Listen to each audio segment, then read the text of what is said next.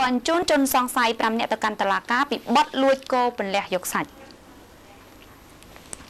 សមត្ថកិច្ចនគរបាលនៃខេត្តស្ទឹងត្រែងបានឲ្យដឹងថាគេនឹងបញ្ជូនបរិសុទ្ធ5នាក់ទៅកាន់សាលាដំបងខេត្តស្ទឹងត្រែងនារសៀលថ្ងៃទី15តុលាឆ្នាំ2015នេះដើម្បីធ្វើការចាប់ប្រកាន់តាក់ទិនទៅនឹងសំណុំរឿងលួចគោពន្លះយកសាច់ ជនសង្ស័យទី1គឺមានឈ្មោះឡាវថុនភេទប្រុសអាយុ26ឆ្នាំស្នាក់នៅភូមិខ្សាច់ថ្មីខំតឡាតស្រុកសេសានទី2គឺឈ្មោះតូចម្រុងភេទប្រុសអាយុ22ឆ្នាំ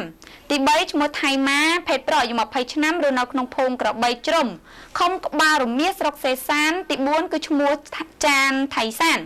ថៃសាយភេទប្រុសអាយុ35ឆ្នាំនិងឈ្មោះសាយសុខុមភេទប្រុសអាយុ45 44ឆ្នាំត្រូវបានសមត្ថកិច្ចឃាត់ខ្លួនជាបន្តបន្ទាប់កាលពីថ្ងៃទី13ដុល្លាររួមទាំងរឹបអូសបានវត្ថុតាងជាច្រើនទៀតសមត្ថកិច្ចបានឲ្យដឹងថាជនសង្ស័យខាងលើគឺជាមុខសញ្ញាលួចគោយ៉ាងសកម្មនៅក្នុងស្រុកសេសាន។